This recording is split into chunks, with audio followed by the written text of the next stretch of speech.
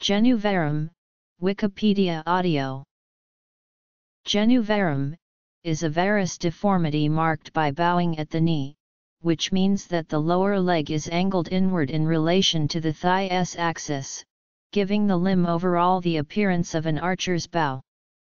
Usually medial angulation of both lower limb bones is involved. If a child is sickly, either with rickets or any other ailment that prevents ossification of the bones, or is improperly fed, the bowed condition may persist. Thus the chief cause of this deformity is rickets. Skeletal problems, infection, and tumors can also affect the growth of the leg, sometimes giving rise to a one-sided bow-leggedness.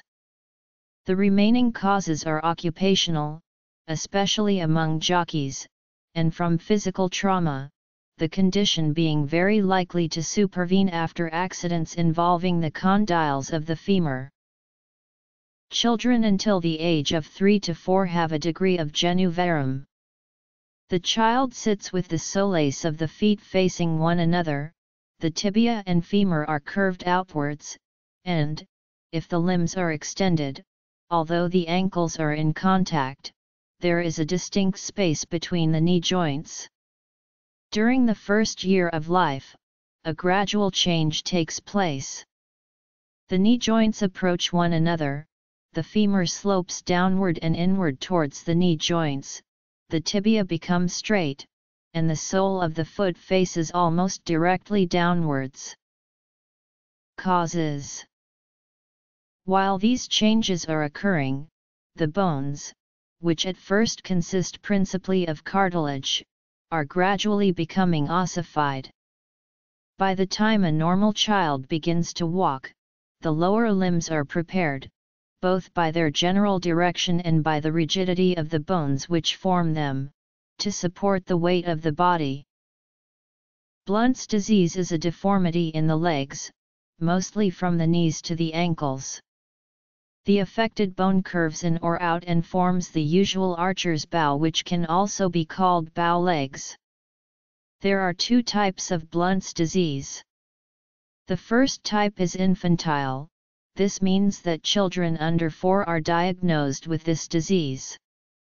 Blount's disease in this age is very risky because sometimes it is not detected and it passes to the second type of Blount's disease.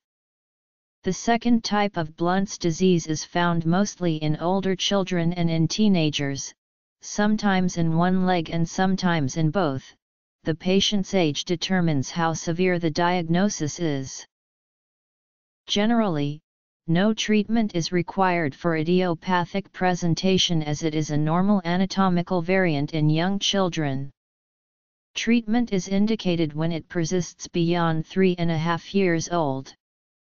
In the case of unilateral presentation or progressive worsening of the curvature, when caused by rickets, the most important thing is to treat the constitutional disease, at the same time instructing the caregiver never to place the child on its feet. In many cases this is quite sufficient in itself to effect a cure, but matters can be hastened somewhat by applying splints. When the deformity arises in older patients, either from trauma or occupation, the only permanent treatment is surgery, but orthopedic bracing can provide relief. Treatment for children with Blount's disease is typically braces but surgery may also be necessary, especially for teenagers. The operation consists of removing a piece of tibia, breaking the fibula and straightening out the bone, there is also a choice of elongating the legs. If not treated early enough, the condition worsens quickly. In most cases persisting after childhood, there is little or no effect on the ability to walk. Due to uneven stress and wear on the knees, however, even milder manifestations can see an accelerated onset of arthritis. Childhood Blount's disease. Diagnosis. Treatment. Blount's disease 2 Prognosis